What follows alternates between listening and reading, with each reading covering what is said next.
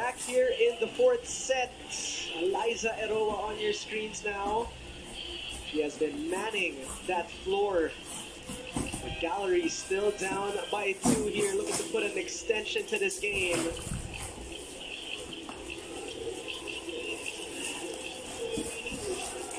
There's their team captain, Eliza Eroa. Let's take a look at her stats, Doc. 18 excellent digs and 9 excellent receptions for the team captain. Has been definitely a big factor in the floor defense of the high risers. Putting a lot of digs and saves in the second set that they were able to win.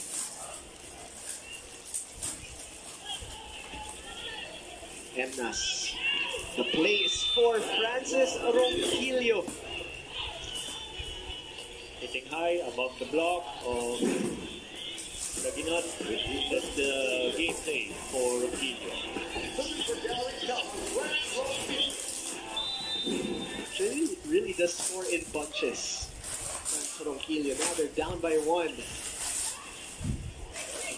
Luna. Powering the block that time. And assist back in. May Luna much deserved breather here.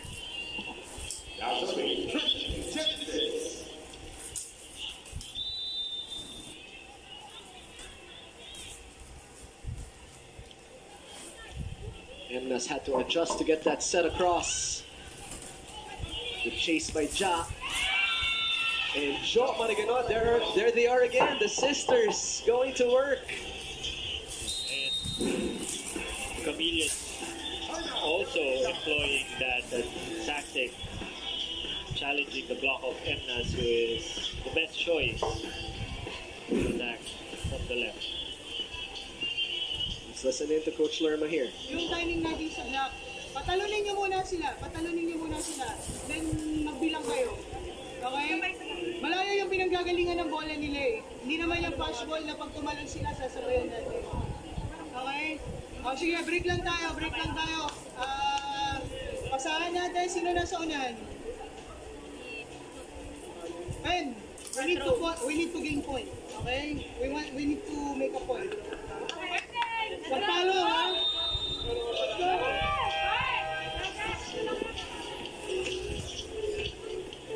Coach Lerman emphasizing the timing of the block.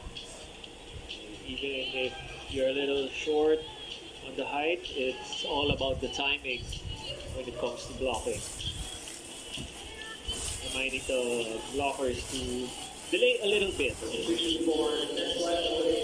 Looks like that was like a Ebon icing, I believe, her uh.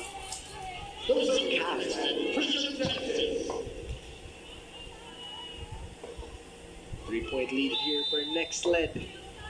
One set away from taking the win. Newt sent back right away, this time to the quick. Servina with a dig.